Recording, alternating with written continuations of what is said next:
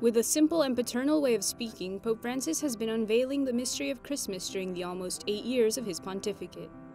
Questa notte è per te.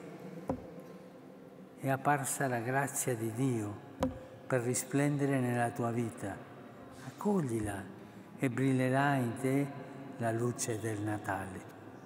His numerous contributions and suggestions for living the celebration better have been compiled in this text, È nato per noi, Italian for A Child is Born for Us. Un niño se nos ha dado, la Navidad con A Child is Born for Us, Christmas with Pope Francis, is inspired by the entrance antiphon of the Christmas Mass. The short piece of work is intended as a guide or itinerary to help Christians live the Christmas season by rereading the teachings of Pope Francis. That is why every day, from December 25th to January 6th, the Pope offers texts from the Pope's Magisterium. The meditations are accompanied by beautiful images from the Vatican Museum's collection. Salvador Aguilera has gone over all the lines pronounced by Pope Francis at Christmas. He says that besides being a book on which to meditate during the holidays, it can serve as a guide to understand St. Joseph's role in the life of baby Jesus. It's an important role, especially this year, which marks the 150th anniversary of his proclamation as the patron saint of the Church.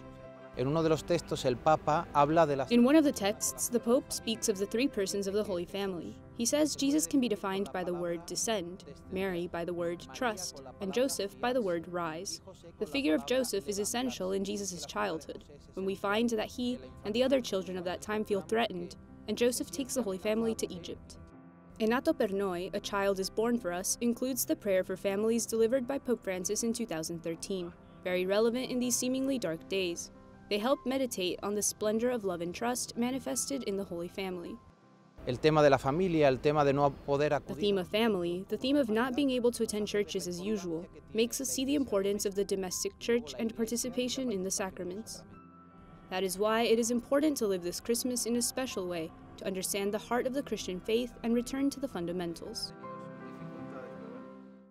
Looking for the perfect Christmas gift? Your search is over. Wish your family and friends a Merry Christmas all the way from Rome with Rome Reports Premium. This app gives you exclusive access to all events, art, and culture inside the Vatican, including sneak peeks into the Pope's life and much more. If you want to be informed this holiday season, this is the perfect gift. Gift someone with Rome Reports Premium and celebrate this holiday season by exploring the Vatican Unseen with exclusive content, new documentaries, and the latest videos. Go to www.romereports.tv or download the app on Android or iPhone and subscribe to the service today.